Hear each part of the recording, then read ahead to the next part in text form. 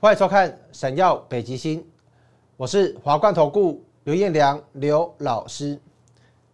还记得我跟大家预告的辉达财报吗？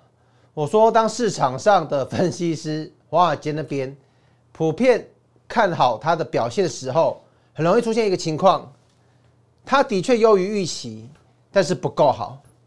因为现在现在市场上很贪婪呢，大家觉得它是全村的希望。对它是用高标准、高规格看待，就像台积电也是一样。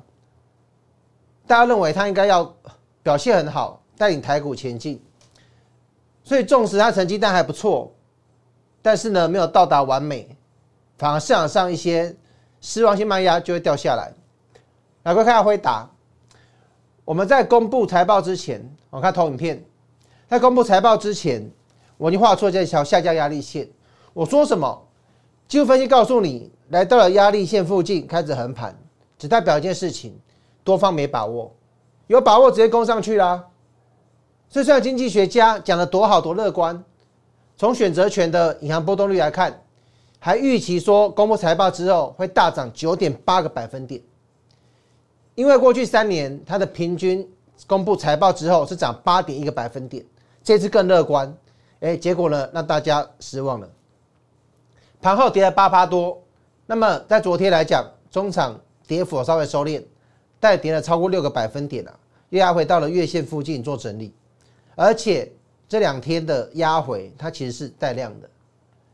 换言之，辉达目前看起来，我觉得比较没有什么向上攻的机会，这就是我说当时月季线死亡交叉，少则整理一个月，多则三个月，整理一个月如何结束可以向上，就靠辉达。假设辉达财报不行，那么整理期极有可能拉到三个月。那三个月过去是什么？大选嘛，对吧？也符合到过去美国的一个统计，大选前通常比较容易比较狭幅整理，尤其是当两边选情紧绷的时候，你很难去押宝哪一边，押错怎么办？我押 A 不对，押 B 我也不对，那我不如不要押。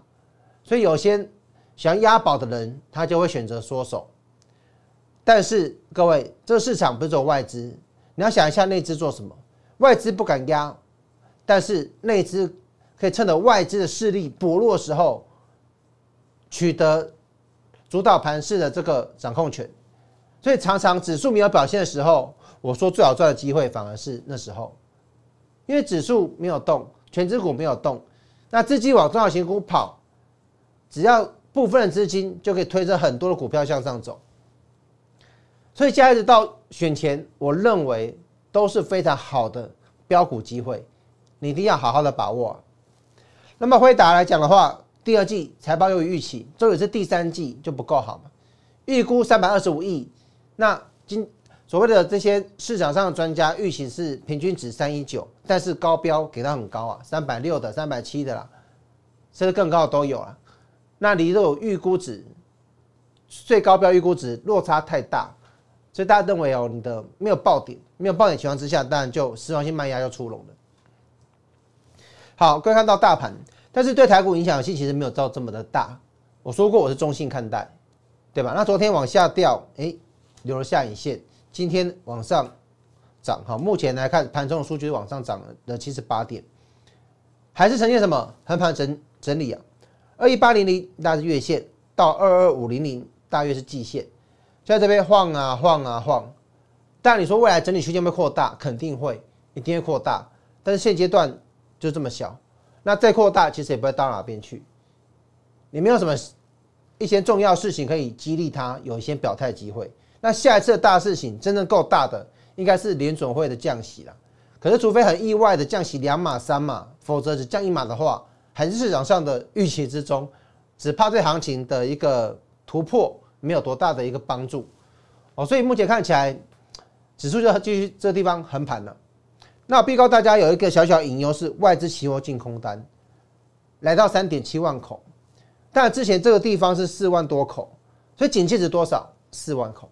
假设这个地方外资多单就呃空单就空在这个地方三万五、三万六、三万七，那没关系，但是只怕它往下加码，往下继续加空，加到四万口，你要小心一点点。那如果出现这样情况，我会跟大家做报告。那今天尾盘是 N C 在调整哦，代表说今天尾盘成交量会放大，那是会涨还跌呢？台股是两降一平啊，哦，三个指数里面两降一平。那么从它公布权重到现在这两周多过去，外资在现货的一个加大盘的买买卖超大概是小卖十亿，原则上持平。所以我觉得极有可能哈，现在没收盘，我猜想了收盘应该极有可能会稍微往下掉一点点。好，那么呢？各位量能不出的话，全指股没戏唱。但是你记得，这时候是要抓小放大。下礼拜的半导体展，市场上的焦点在哪边？细光子。再来是九月十号的苹果秋季发表会，大家期待另一个村长有没有机会一人救全村？好，到时候再来看看。来，OTC，什么叫内资主导盘势？很简单，OTC 大盘哪一个走的强嘛？一定走的强那一方主导盘势啊。那大盘卡在颈线。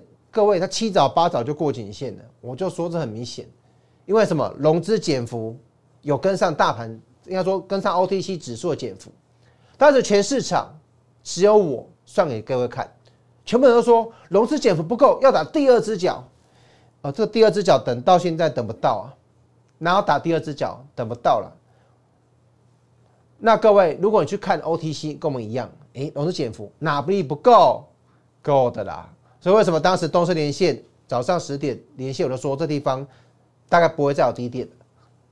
当时我直接跟全国的观众朋友讲，不会再有低点了，因为早上已经万箭齐发，全券商的系统噔噔噔噔噔，电脑开始狂跑，开始砍砍砍砍砍，你还砍了快一小时啊，从九点多砍砍砍到九点四十五分，砍完了，那代表说后面没有强制平仓的。强制出场的卖压了嘛，对吧？那果然一路上来嘛。这完颈线我跟你讲过，所有全世界行情都一样，指数大型股走在前面，因为是控盘者的杰作。但是控盘者拉拉指数上来之后，后面换成是中小型股，所以你会看到上半年全指股很强。我说下半年至少在第三季，你要注意是中小型股的天下。来，目前的五日线很强劲的往上攻，当然是慢慢的推啊推啊推，因为大盘也不强，所以它没有急攻的本钱，但至少它不会落。所以代表说很多的好股票，不管是绩优股啦、业绩股啦、题材股啦，你都要好好的把握他们轮动轮涨的机会。来，接下来看下 CPU，那 CPU 大概现在来讲的话，它也是一个未来的商机，但目前坦白说，整个占。各公司的比重不是很高，但是现在是从无到有，从有慢慢变多的一个过程。这时候其实是对股价最有爆发性的。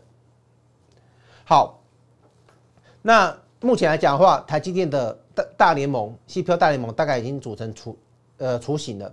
那有些就算不在里面的也是很强。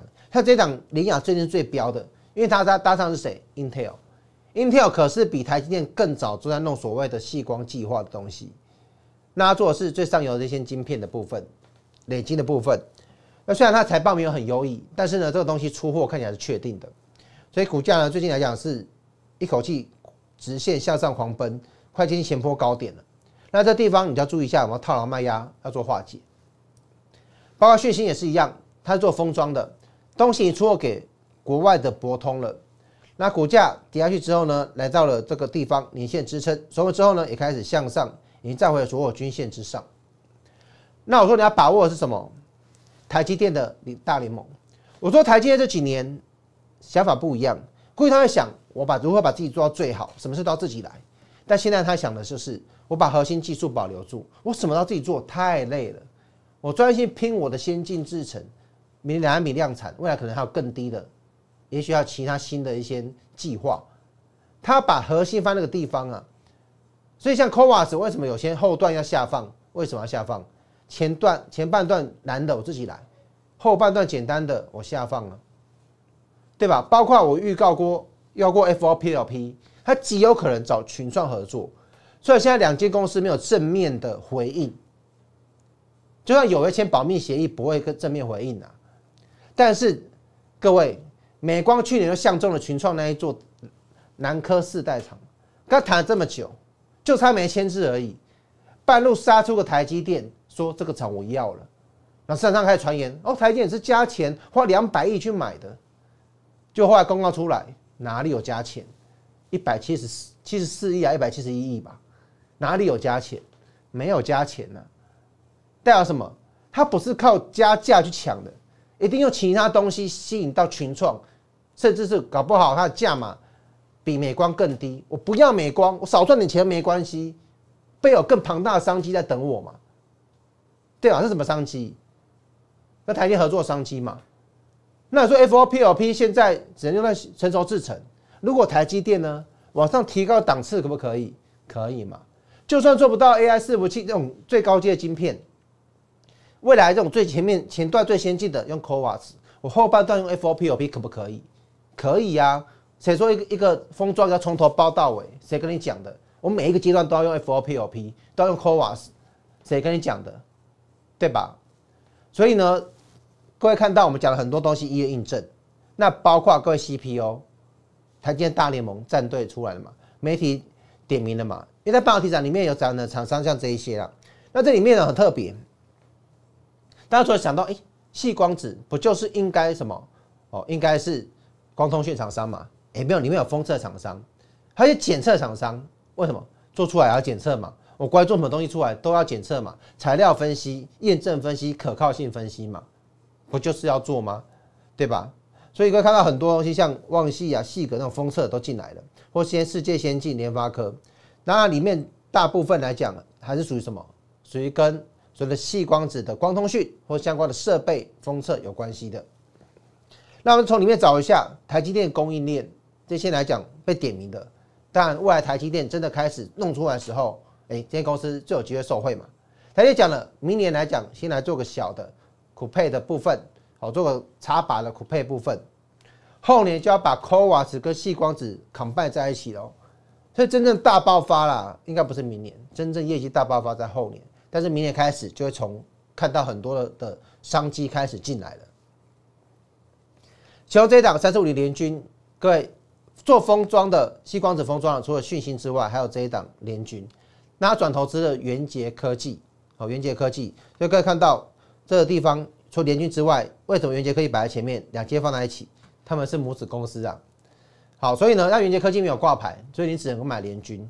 联军这样股票呢，早上多年下问我说：“哎，老师会涨太多了，还纳入 SCI，那八十三宣布到现在，外资买一大堆，会不会被盗啊？”我说：“就尾盘被盗，就算尾盘被盗，但是以它目前外资偏多，还有投信也进来，业绩还向上。那假假设 SCI 调整，各位，请问它调整为什么是一季看一次？每天看的话，这些经理人疯了啊！一季看一次，代表过程当中，我也许。”某些股票看好看坏，我可以稍微加码一点，减码一点嘛。反正你下一次检查我的持股权重的时候，我调整到符合你的公告的比重，那就 OK 啦，对不对？就像很多人最近炒得很热的某个档账的问题嘛，没有查之前这边多那边少那就算了，要查之前要做成会计报表之前，最后把它调整到 OK，大家合法合理调整，调到 OK，数字正确啊，不就好了吗？中间会不会啊？这笔少记，那笔多记，会嘛？可是呢，你在财报正式完整之前，你要调整到位啊，而不是拿一个东西虚假，就是一些错误东西出来嘛，对吧？包括像前顶有没有也是被点名在里面的厂商？现在看的都是哦，里面有的啦。前顶在这个地方哦，前顶，诶，在这里第一间有没有？反正我在讲都是里面有的公司啦。那我觉得有被点名的，其实事实上。跟台积电真的有合作机会是比较高的，所以台积电也不暂时也没有正面的一个承认了，对吧？好，各位前顶做什么？过所谓的一个光收发模组的部分。现在的光通讯这样子，data center 这样子，光收发模组就像是我现在你要通我，假设我这边是一个 S 晶片，你要怎么样传输讯号？来，左手接一支，右手接一支，光讯号跟电讯号转换，这边一支，这边一支，对，光变电，电变光，各插一支。那现在后面来讲是做的是有接近，譬如我接近我身体，好，就像我衣服好了，靠把这种收发讯号的东西放在接近我的身体，但是呢，未来讲是什么？直接坐在我身体上面，粘在我身体上面，这叫什么？CPU 部分，由远到近，这就是 CPU 的重要性。好，在波罗威做里面一些呃相关的零组件的部分，可以看到也是这波向下打到季线之后开始默默上来，也快接近前波高点了。还有光盛，哦，光盛也是透过它子公司叫和盛来做切入的动作。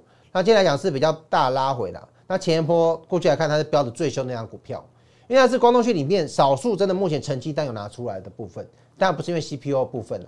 好，目前很多光通讯元件厂商纯粹是因为资料中心 data center 的需求在盖，用了更多的光收发模组，用更多的升交换器升级，并不是因为 CPU。但是大家期待是未来 CPU 你也会分到一杯羹，懂吗？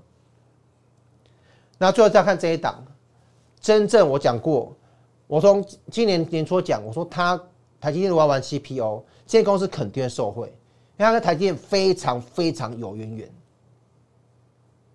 那天跟大家讲渊源到底在哪里？我说除了他们中间有交集的东西叫做中美金公司、中美金集团之外，各位，他的总经理胡董啊，胡总，他是台大电机系的硕士，重点是各位他当过什么？他当过台积电的公司的部经理，还当过什么台积电子公司金财的副总经理，还当过什么奇景光电的副总。最近奇景光电私募通过私募持有他五趴多，两个要合作，两个未来就是哦他的专场跟你的 CPU 两个合在一起，它的一个一个一个特殊的一个封装模式，有个 CPU 结合在一起，要针对很多的多晶片模组。做封装，各位目前都是单晶片，它将来是要针对多晶片可以做封装，这就厉害了。那为什么这些关系总经理的背景知道了？台积电、精彩、奇景他都待过，对不对？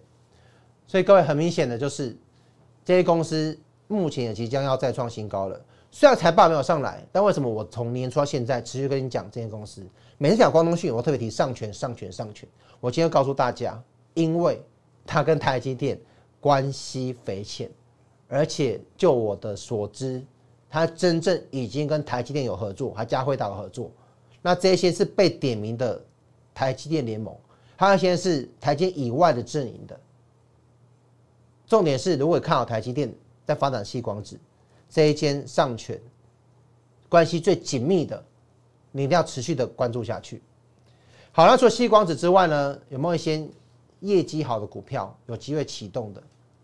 守株待兔有，我这一拜周报里面都是一些转机股，或是它是业绩成长股，然后呢，股价还在整理，准备要有机会补量上攻的。